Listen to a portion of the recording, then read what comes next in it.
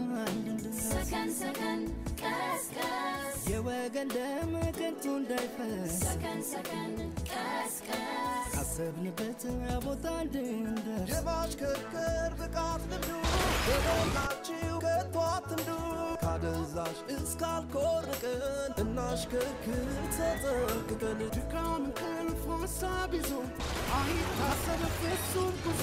የወገን ደም ከንቱ እንዳይፈስ እናሽከርክር እያንደስ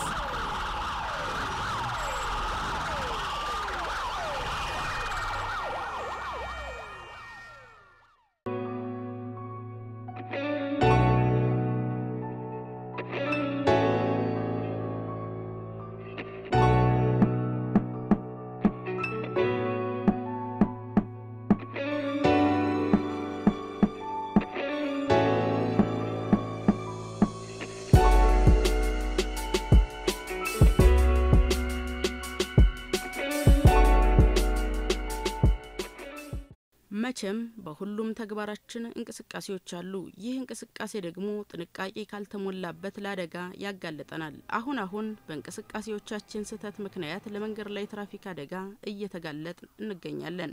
ይህም አደጋ ሩጦ ያልጠገበን ጨቅላ ሕፃን፣ ሰርቶ ያልደከመን ወጣት አረጋዊን ያለ ጧሪ ሀገርን ደግሞ የተማረውንና አምራች ትውልድን እያሳጣ አስከፊነቱንና አሰቃቂነቱን በየዕለቱ እየሰማን ነው። ይህ ቅጽበታዊ የሆነው የመንገድ ላይ ትራፊክ አደጋ እግረኛ በማስተዋልና በተፈቀደለት ቢንቀሳቀስ አሽከርካሪው ሕግና ደንብን በማክበር ቢያሽከረክር ስለ ትራፊክ አደጋ በተለያየ አጋጣሚ የሚተላለፉ መልእክቶችን ሰምተን ወደ ተግባር ብንለውጥ አደጋውን መከላከል የምንችለው መሆኑን መገንዘብ ይኖርብናል። አሽከርካሪ ከሆኑ የሚከተሉትን ነገሮች ልብ ይበሉ። ከተፈቀደው የፍጥነት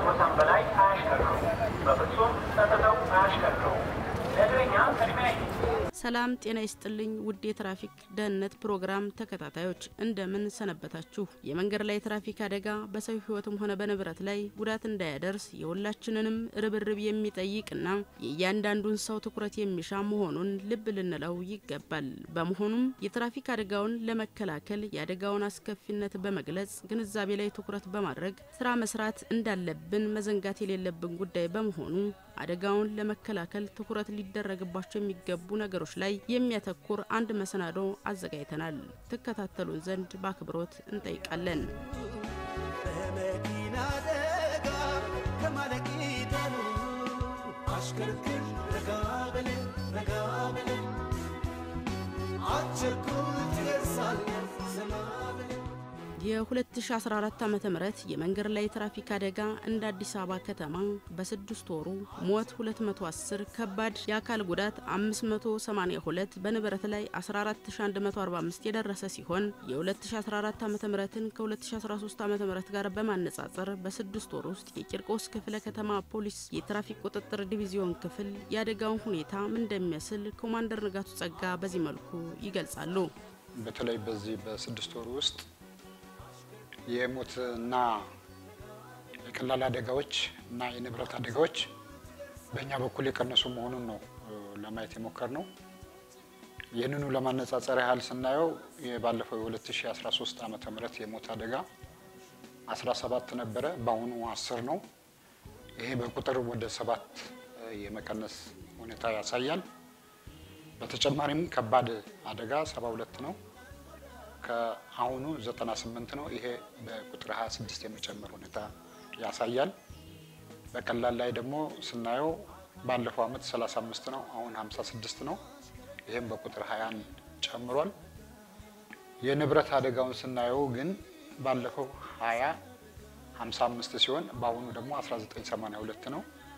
ይሄ በቁጥር 73 የቀነሰበት ሁኔታ ነው ያለው። ስለዚህ እዚህ ላይ ለማየት የሞከር ነው በሞትና በንብረት አደጋዎች ላይ አደጋው የመቀነስ ሁኔታ ያሳያል። ነገር ግን በከባድና በቀላል ላይ ደግሞ የመጨመር ሁኔታ የሚያሳይ መሆኑን ነው ለመረዳት የቻል ነው ማለት ነው። የመንገድ ላይ የትራፊክ አደጋን ለመከላከልና ለመቀነስ ትኩረት የሚሻና አጽንኦት ተሰጥቶ ሊሰራባቸው የሚገቡ ጉዳዮች በርካቶች ናቸው። በመሆኑም የመንገድ ላይ የትራፊክ አደጋ እንዳይከሰትና የጉዳቱን መጠን ለመቀነስ ትኩረት ሊደረግባቸው የሚችሉ ነገሮችን በተመለከተ ያነጋገርናቸው አሽከርካሪዎችና እግረኛ ይህንን ብለውናል። ይህ ህዝቡ የመንገዱን ተጠቃሚ የመንገድ ላይ አጠቃቀም በጣም ችግር አለ። ይህ የመንገድ ላይ አጠቃቀም ምንድን ነው? ሁልጊዜ በሬዲዮ የሚለፈለፍ more ደግሞ እያንዳንዱ ተማሪ እርግጠኛ ነኝ ከአንደኛ ክፍል ጀምሮ ስለ መንገድ አጠቃቀም እና ስለ መብራቶች ግንዛቤ እየተሰጠ ነው የሚያድገው። ነገር ግን እያንዳንዳችን አረንጓዴ፣ ቢጫ፣ ቀይ ለምን ለምን የሚያገለግለው ብንባል ሁሉም ይመልሳል፣ ግን ተግባራዊ አይደረግም። መንገድ ላይ ሲወጣ ተግባራዊ አይደረግም እና ይሄ ነገር በጣም የሚያበሳጭ ነው። ሁለተኛ ነገር ደግሞ ምንድነው ህዝቡ የመንገዱ ተጠቃሚ በአግባቡ በእግረኛ መንገድ ላይ እየሄደ አይደለም።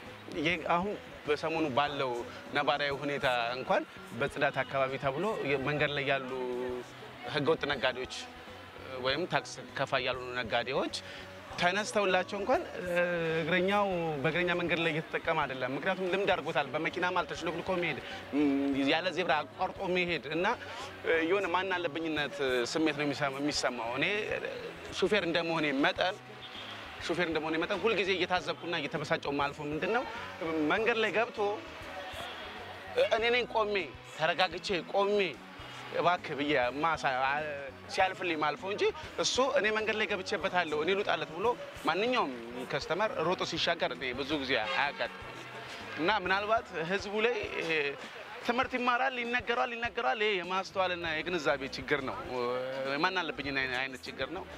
እንደውም እኛ ሾፌሮች እንደምንቀጣው ሁሉ የቅጣት እርከን ወጥቶለት እነኚህ ሰዎች በዛ በቃ ዜብራን ያልተጠቀመ እግረኛ በዚህ አይነት እርከን መቀጣት አለበት፣ እግረኛ መንገድን ያልተጠቀመ እግረኛ መቀጣት አለበት የሚለውን ነገር አዲስ አበባ ክልል ላይ እንዳለ ይሄ ነገር መደረግ አለበት። more ከአዲስ አበባ ክልል ወጥተሽ ብታይ ከሆነ እኔ ወጥቼ አውቃለሁ። አንዳንዴ ማለት እየነዳው ሳይሆን ተሳፍሬ ወጥቻለሁ። የሆነ ክልል ላይ ሄጄ እዚሁ አዲስ አበባ እንደለመድኩት ከእግረኛ መንገድ ተሻግሬ ዋና መንገድ ላይ እኔና ጓደኛዬ እጅ ለእጅ ተያይዘን እየሄድን ፊሽካ የትራፊክ ፊሽካ ይነፋል። እኛ የምናውቀው ለመኪና ነው፣ ለካስ ለሰው የሚነፋ ነበር እና አላወቅንም። ሮጣ መታ የያዘችን ምንድን ነው ስል እንዴት ነው ከእግረኛ መንገድ ወጥታችሁ በመኪና መንገድ ላይ የምትሄዱ? ሊያውም ጨር ያለ እኮ ረዥም ሰፊ መንገድ ነው፣ መኪና እንኳን የለም። እኛ walk እያደረግን ነው፣ እየተዝናናን ነበር በሰዓቱ እና ይህን ያክል ክፍለ ሀገሮች ሰልጥነው እኛ ከተሜዎች ያልነው ግን ኋላ ቀር በመንገድ አጠቃቀም ብዬ አስባለሁ። ይሄ ከተቀረፈ አደጋ በጣም ይቀንሳል ብዬ አስባለሁ። መዋተኞች አሁን ከመንጃ ፈቃድ አሰጣጥ ጀምረን መዋተኞች ምንድነው ማድረግ ያለባቸው? አንደኛ መንጃ ፈቃድ ከመስጠታቸው በፊት አሽከርካሪው በስነ ስርዓት ብቃት መኖሩን ማረጋገጥ ይኖርባቸዋል። ምክንያቱም አሁን እየተደረገ ያለው ነገር ምንድን ነው? ብቃት አለኝ እኔ ራሴ እችላለሁ፣ training ላይ መቅረት ይኖራል። training ላይ አሁን መንጃ ፈቃድ የሚወስዱ አንዳንድ ማሰልጠኛ የመንጃ ፈቃድ ማሰልጠኛ ትምህርት ቤቶች ቤታቸው ቁጭ ብሎ በየቀኑ training ማድረግ ሲገባቸው ነገር ግን በሳምንት አንድ ቀን መጥቶ አጠቃላይ ደግሞ መጨረሻ ላይ ደግሞ ብቃት አለው ተብሎ የሚሰጥበት ነገር ይኖራል ማለት ነው። ስለዚህ ከመንጃ ፈቃድ የሚሰጠው ትምህርት ቤት ደግሞ ምን ማድረግ አለበት? መንጃ ፈቃድ መውሰድ የሚችል ሰው ትሬኒንጉን በቀን በቀን የሚጠበቅበትን ነገር በብቃት መወጣቱን በደንብ ካረጋገጠ በኋላ እንዲሁም ያለውን ፈተናዎቹ አጠቃላይ በሰዎች የሚሰጠው መንጃ ፈቃድ አጠቃላይ ወጥቶ ያን ነገር በብቃት መሰጠት እንዳለበት ነው። ስለዚህ ከሙያተኛ የሚጠበቀው ምንድን ነው? አሽከርካሪዎቹም በብቃት ማሰልጠን ይጠበቅበታል ማለት ነው። ያው የሹፌሩ ኃላፊነቱን ብለን ሰውም እሳት ውስጥ መግባት የለበትም። ማለቴ ሰው ሰራሽ ነገር ነው እና ሰዎች ለሕይወታቸው ብለው ተጠንቅቀው ዜብራ ቢጠቀሙ መሻገር ያለባቸው ቦታ ላይ ቀኝና ግራ አይተው ቢሻገሩ ምናልባት የመቀነስ አዝማሚያ ይኖረዋል እና መንስኤው አንድ የስልጠና ላይ ችግር ስላለው ይመስለኛል። ቀጥሎ ደግሞ የእግረኛው አስተውሎ ያለ መሻገር ይመስለኛል። መኪና ማለት ሰው ሰራሽ ነገር ነው። በስልጠናም ያው አንድ ሰው መኪና ለማሽከርከር ሲሄድ መጀመሪያ ሰልጥኖ ነው ስቴፖችን ተከትሎ ነው የሚመጣው እና በክላስም ሰልጥኖ ሲቀጥልም ደግሞ ተግባር ላይ ሰልጥኖ ነው ወደዚህ ወደ መንጃ ፈቃድ የሚመጣው እና እሱ ላይ መጀመሪያ መንግስት ትምህርት ቤቶቹ በትክክል ነው የሚሰጡት ወይ፣ ሲቀጥል ደግሞ አግባብ ያለው ትምህርት ቤት ነው ወይ፣ step ኦችን በትክክል ይከተላል የሚለው ነገር ማጥናት አለበት መንግስት። በትክክለኛ መንገድ ከመጣ አደጋው ይቀንሳል ብዬ አስባለሁ። የመንገድ ላይ ትራፊክ አደጋውን ለመከላከል የሰለጠነና ሙያውን አክብሮ የሚያሽከረክር ለወጣው የትራፊክ ሕግና ደንብ ተገዢ የሆነ አሽከርካሪ ማፍራት ስልጣን የተሰጣቸው የአሽከርካሪ ማሰልጠኛ ተቋማት ኃላፊነት እንደሆነ ይታወቃል። ተቋማቶቹ በተገቢው መንገድ ኃላፊነታቸውን እንዲወጡ ቁጥጥሩና ክትትሉም እንደሚመስል የአዲስ አበባ ከተማ አስተዳደር የአሽከርካሪና ተሽከርካሪ ፍቃድና ቁጥጥር ባለስልጣን ዳይሬክተር አቶ ገብረ ማርያም ወልደ አረጋይን ጠይቀናል። በመደበኛነት 89 አሽከርካሪ ማሰልጠኛ ተቋማት አሉ። እንደዚሁም 43 ቅርንጫፎች አሉ። በድምሩ 132 ከነ ቅርንጫፋቸው የሚደርስ ተቋማት አሉ። በዚህ ውስጥ ያው እነኚህ ተቋማት አልመን ወይም ደግሞ አንደኛው መስሪያ ቤታችን በእቅድ ትኩረት ይዞ ከሚሰራቸው ተግባራት የስልጠና ጥራትን ከማረጋገጥ አኳያ ተማሪው መስክ ላይ ምንድን ነው ሰዓቱን በትክክል ይጠቀማሉ? አሰልጣኞች ደግሞ በተገቢ ሁኔታ ተማሪውን በደንብ ኢንከረጅ አድርገው በመጠቀም ደረጃ ምንድን ነው ተብሎ እዛው ይታያሉ። ሁለተኛ የማሽከርከሪያ ማሰልጠኛ መኪናው technical ብቃት አለው ወይ? ፍሬን የሌለው ከሆነ ስፖኪዮው በትክክል ከሆነ ፍሬቻዎች በትክክል የማይበሩ ከሆነ ስለዚህ ያ እነኛ መኪናዎች check ይደረጋል። በዚያ ሂደት ውስጥ ዘንድሮ ወደ 143 መኪናዎች check ተደርገዋል። ከዚህ ውስጥ መለስተኛ ጉድለት ተገኝቶባቸው እነሱንም እንዲያስተካክሉ እርምጃ በመውሰድ በሁለት ቀን ውስጥ የማስተካከል ስራዎች ተሰርተዋል። በአብዛኛው እንግዲህ የትምህርቱን ጥራት ለማረጋገጥ በሁለት አይነት መንገድ ሙያተኞቻችን እየሰሩ ያሉበት ሂደት ስላለ አሁን አብዛኛው እኛ ተቋሙ ካለበት ደረጃና ተቋማቱ ካላቸው ወደ ቴክኖሎጂ ደረጃ ላይ ደርሰዋል። አንደኛ የሚሰጠው ትምህርት በተገቢ ሁኔታ እኛ እዚሁ በካሜራ የት ነው ካሜራው በቀጥታ በክፍል ውስጥ የሚሰጠውን ትምህርት እዚሁ ቁጭ ብለን ማየት ይቻላል። በከተማ ደረጃ የመንገድ ላይ ትራፊክ አደጋውን ለመከላከል የትራፊክ ጽሕፈት ቤቱ እቅድ በማውጣት እንደየአካባቢው ተጨባጭ ሁኔታ ስራዎች ይከናወናሉ።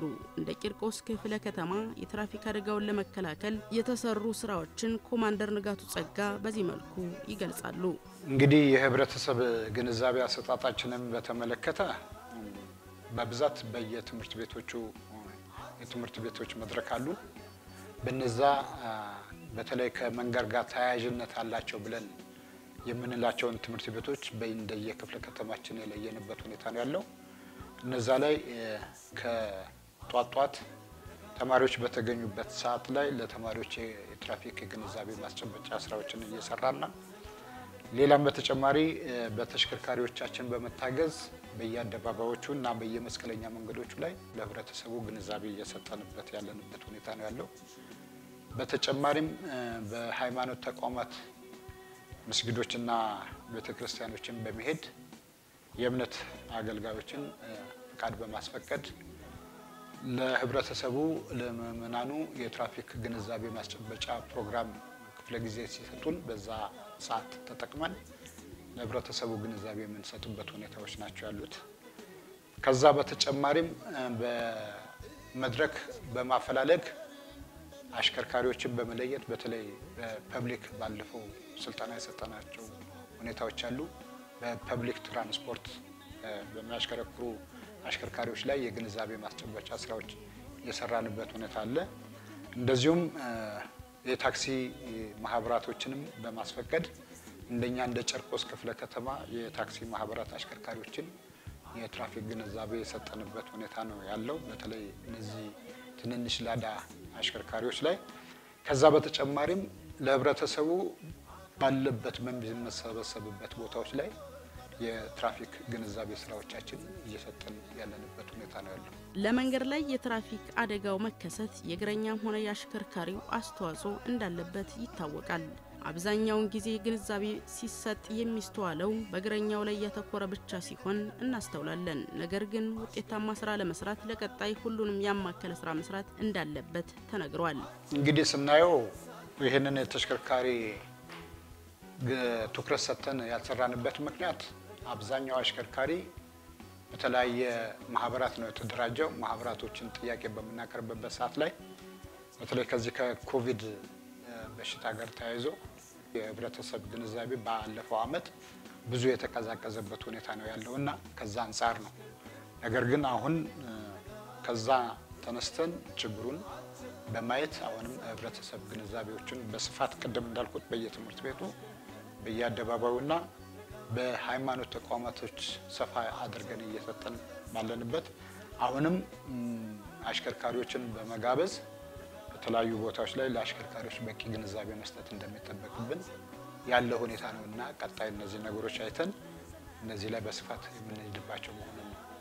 የመንገድ ላይ ትራፊክ አደጋን ለመከላከልም ሆነ ለመቀነስ የመንገድ ተጠቃሚዎች ስለ መንገድ አጠቃቀም ግንዛቤ የላቸውም ብሎ ለመገመት አስቸጋሪ ይሆናል። አደጋው ከመንገድ አጠቃቀም ስህተቶቻችን የተነሳ ሊደርስ እንደሚችል በመገንዘብ የመፍትሄ ባለቤቶች ልንሆን ይገባል። እግረኛው ላይ በሚዲያም ይሁን በተለያዩ አማራጮች መግለጫ እንዲሰጥ ወይም ደግሞ ትምህርት እንዲሰጥ ማድረግ በተጨማሪም ደግሞ ግንዛቤ እንዲኖራቸው ማድረግ ነው። ማለቴ ይህ መኪና ማለት ሰው ሰራሽ ነገር መሆኑና በትክክል ካልተጠቀምንበት ሊያጠፋን እንደሚችል ሁሉ ነገሩ ለማስተማር መሞከር እነሱ የእነሱም ኃላፊነት ነው። ነገ እነሱም መንገድ ላይ ሲሄዱ ቤተሰባቸውም ይህ አደጋ ሊደርስበት ይችላል እና እነሱም ኃላፊነት መውሰድ አለባቸው። እግረኛውም ደግሞ ለራሱ ሲል ኃላፊነት መውሰድ አለበት ብዬ አምናለሁኝ። አንደኛ በአካባቢ ያሉ የትራፊክ ያሉ ሰዎች ተራ የሚያስጠብቁ ተራ የሚያስጠብቁ ሰዎች ራሱ ግንዛቤ ተሰጥቷቸው እንደ ግዴታ ተጥሎባቸው በዚህ በኩል መሄድ እንደማይችሉ ድጋፍ ማለት ትራፊኩ ሁሉ ነገር ተቆጣጥሮ ስለማይችል የትራፊክ ፖሊስ ሁሉ ነገር ተቆጣጥሮ ስለማይችል እንዲሁም ደግሞ የፖሊስ ኃይል ሁሉ ነገር ተቆጣጥሮ ስለማይችል እግረኞችን በተፈቀደላቸው መንገድ መሄድ እንዲችሉ ተራ የሚያስጠብቁ ሰዎች ላይ እንደ አደራ ተጥሎ እንዲሁም ደግሞ እንደ ግዴታ ተጥሎ እግረኞች በዚህ መንገድ መሄድ ብቻ እንዲችሉ ማስገንዘብ፣ ማስተማር፣ ጠዋት ጠዋት ማስተማር ይኖርባቸዋል ማለት ነው። ባለድርሻ አካላት ወርዶ እታች ወርዶ ምንድን ነው ችግሩ ምንድን ነው ብሎ ሰብስቦ አናግሮ ከአንድ ሰው ሳይሆን ከብዙሀን ምርጥ ሀሳብና ምርጥ አመለካከት ያላቸው ብዙ ሰዎች አሉ። ሀሳብ በራሱ ገንዘብ ነው። እዛ ጋ ባለድርሻ አካላቱ ቦታ ስለያዙ ስለተማሩ ስለአገለገሉ ሳይሆን ወርደው ቢያናግሩ ስንት ብሩህ አእምሮ ያለው ሰዎች ስላሉ ወርደው ቢያናግሩ በየመንገዱ እየመጡ ቢያስተምሩ፣ ቢመክሩ፣ ቢዘክሩ አንደኛ ነገር የመኪና ብዛት፣ ሁለተኛ ነገር ደግሞ እግረኛውና አሽከርካሪው እኩል አንድ ላይ ነው የሚጓዙት። ያ ነገር ለትራፊክ በጣም አስቸጋሪና የተያያዘ ችግር ስለሆነ ይሄ ነገር ቢቀረፍ አሽከርካሪው ለራሱ የተለያየ አጉል ሱሶች አሉ፣ እንደ ጫት፣ እንደ አሽሾች የተለያዩ ነገር ያን ያን እንዲቀርፉ ትምህርትና ቅጣት ነገር ቢያደርግባቸው የተስተካከለ ነገር ይመጣል ብዬ አስባለሁ። የትራፊክ አደጋን ፈጽሞ ማጥፋት ባይቻልም ለመቀነስም ሆነ ለመከላከል በርካታ ተግባራትን ማከናወን እና መስራት ይገባል። በመሆኑም እግረኛም ሆነ አሽከርካሪ እንዲሁም ሕግና ደንቡን ለማስከበር ኃላፊነት የተሰጠው አካል የየራሳቸውን ሚና መጫወት እንዳለባቸው በመልእክት ተላልፏል። ይህንን አደጋ በትራፊክ ብቻ አደጋው መቀነስ አይቻልም። ስለዚህ የሁሉም ትኩረት የሚሰጥ ነውና በተለይ አሽከርካሪዎችና እግረኞች ጥንቃቄ አድርገው አሽከርካሪም ጥንቃቄ አድርጎ ማሽከርከር እንደሚገባው ነው። ከዚህ አንጻር ሁለቱም የራሳቸው ለአደጋው አስተዋጽኦ ያላቸው ናቸውና ጥንቃቄ አድርገው አሽከርካሪውም በተገቢው ሕግና ስርዓት በሚፈቅደው መሰረት ማሽከርከር አለበት። እግረኛውም የእግረኛ ማቋረጫ ባሉበት ቦታዎች ላይ ማቋረጥ እንዳለበትና ተገቢ ጥንቃቄ አድርጎ ማቋረጥ ያለበት መሆኑን ነው። ከዛ በተጨማሪ በሚከሰቱ ጥፋቶች ላይ የትራፊክ ፖሊሱ ደግሞ ቅድም እንደተባለው ሕግን ከማስከበር አኳያ በስፋት መንቀሳቀስ ያለበት ነው። ውድ የትራፊክ ደህንነት ፕሮግራም ተከታታዮች ምንም እንኳን ስለ መንገድ ላይ ትራፊክ አደጋ አስከፊነት በተደጋጋሚ ጊዜ ቢገለጽም አደጋው መከሰቱን አሁንም ቀጥሏል። ለሰው ሕይወት የማይሳሳና ያሰብነውን ፍጻሜ ሳናደርስ በጅምር የሚያስቀር አስከፊ አደጋ በመሆኑ የዚህ ጉዳት ሰለባ እንዳንሆን እንጠንቀቅ እያልን ተሰናበት። ሰላም።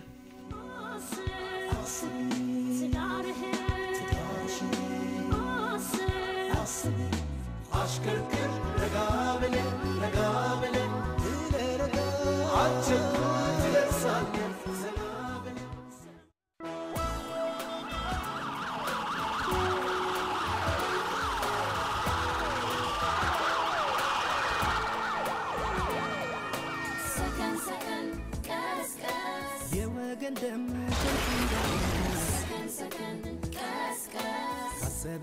ቦታል ሰከን ሰከን ቀስቀስ የወገን ደም ከንቱ እንዳይፈስ ሰከን ሰከን ቀስቀስ ካሰብንበት ቦታ እንድንደርስ የማሽከርከር ብቃት ልምዱ በቦታችሁ ከቶ አትንዱ ታዛዥ እስካልኮርቅን እናሽክክር ተጠንቅቀን ድካም እንቅልፍ ሀሳብ ይዞ አይታሰበ ፍጹም ጉዞ የወገን ደም ከንቱ እንዳይፈስ እናሽክክር እያልን